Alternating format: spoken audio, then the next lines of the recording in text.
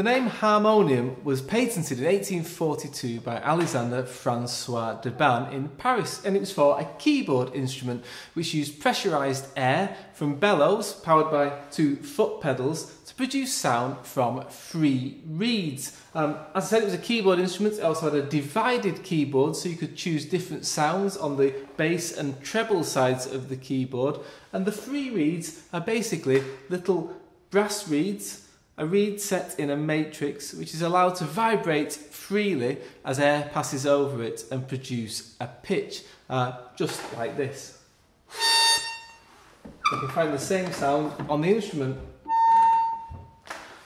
This is a very simple idea which gave us a, a keyboard instrument which had the, a, a sonority like a pipe organ but also the expressive capabilities like a violin because Free reeds aren't affected by humidity, heat or changes in air pressure so you can go very quiet and very loud without altering the pitch and all that's controlled by the two foot pedals. This is a French instrument, probably made in the late 1860s, early 1870s, and it started to be made in Paris by the firm of Christophe and Etienne, uh, one of the leading firms at that time, making harmoniums for chapels and salon use as well. It has a very standard specification, and it starts to have come to the hall uh, sometime in the late 19th, early 20th century from a local chapel. Specification, as I've said, is uh, very standard of a French harmonium of that time. They were built to a certain style, and uh, Debain's original patent included the idea that stops could be numbered and have letters on them. So as you'll see from the music we have here, certain pieces have numbers in circles above and below the staves, and this refers to the stops you're supposed to pull out. A stop uh, written above the stave of the music, say a number one, means pull out number one in the treble written below the stave means pull it out in the bass of the instrument. And I'll take you on a little tour around the instrument to show you all the different sounds it has on it. This instrument essentially has eight different stops and four different sounds throughout the keyboard, numbered four to one in the bass and one, two, three and a C for a celeste in the treble. The number one is a flute stop, uh, a sort of a rather round sound as you'll hear.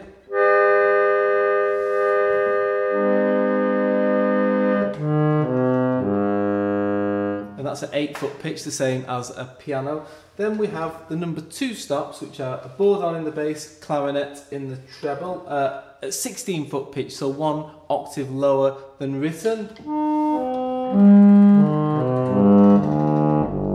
Going very low.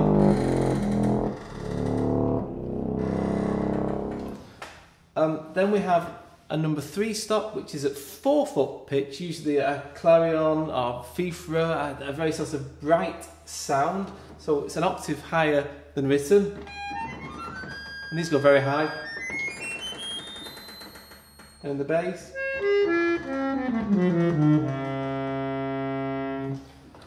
We also have a number four in the bass, which is a bassoon, another reed sound. I said, the keyboard's divided. So in the bass, the bottom 29 notes operate the bass stops, which then stop there. So they're completely separate on that side. Then in the treble, instead of the number four continuing, we have a celeste.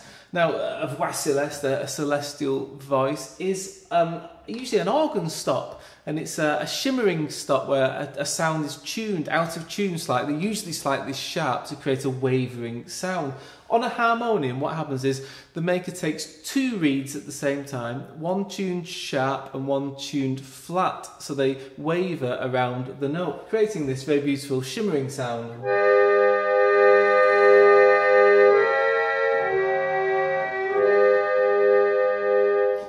Can then be combined with almost any any sound to give this sort of beautiful sound. Um, on top of that, this maker was quite ingenious in how they created more stops. In the bass, there's a sordina, a muted stop, and what they've done is they've taken the number one stop and they've cut off the air supply slightly. So if I play you number one normally, it's that volume. If I play you the sordine, which uses the same reeds, a very, very quiet, a very quiet version. Because on harmoniums, the bass tends to take all of the air much easier because the reeds are bigger. And so if you wanted to accompany a melody, you could use this sordine instead. In the top half, we also have a tremolo, which acts on the number two clarinet stop. So normally the clarinet is this, but the tremolo uh, produces a vibrating effect, which, as you suggested, is a tremolo.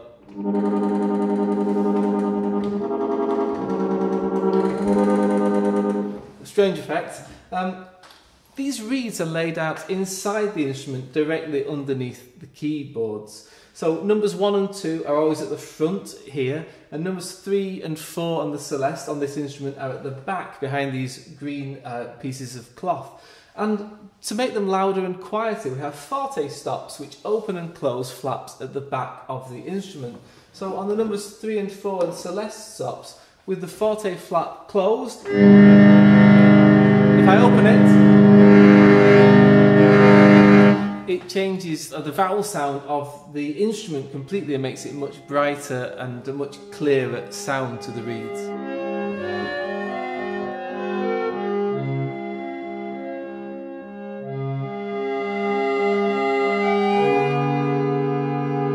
Said, it's not clear exactly when this instrument arrived at Erddig. Um, we're here in the tribes room, which shows the chief families of North Wales in their crests on the walls. Uh, but the family would have used this instrument, and there are music books in the house which are for harmonium and contain the harmonium registrations.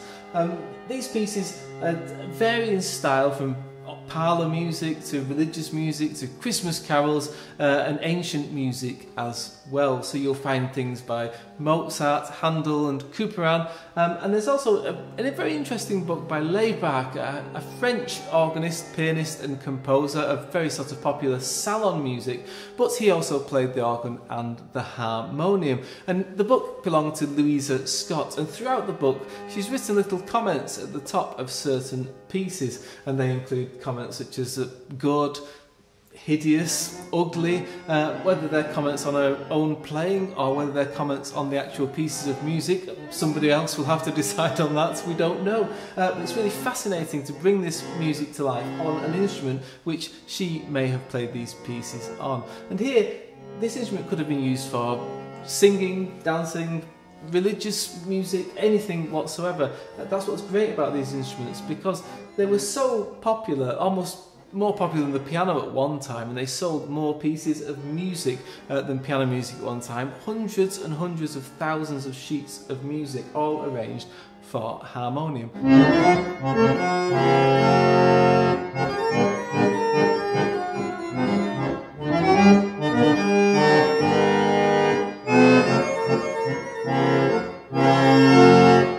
The harmonium was supposed to be an expressive version of the pipe organ, um, there are two ways of providing the wind to it. You'll notice that when I, I pull out stops, if I don't pump the pedals at all, there's absolutely no sound whatsoever. So the bellows are inside and there's two feeders which can fill a quite a large reservoir. So um, if I just want to fill up the reservoir, I can give it a couple of pumps and then play a chord.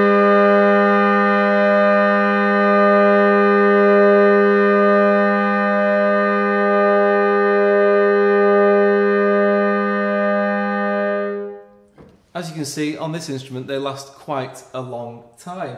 But on the most expensive French instruments, uh, the best players would always use a stop called expression. And as the name suggests, that's what gives you expression directly to your feet. It bypasses the bellows, so you can't fill them up. And as soon as you touch the pedals, the air is taken directly to the reeds. So if I draw expression, we've now shut off from the large reservoir and that can't be used now. And as soon as I play a note and try and push the pedal, it acts on the reeds and it's very sensitive. You can do vibrato and accent. And of course, if you're using very big sounds, you can actually grow from almost nothing, do a crescendo just with your feet.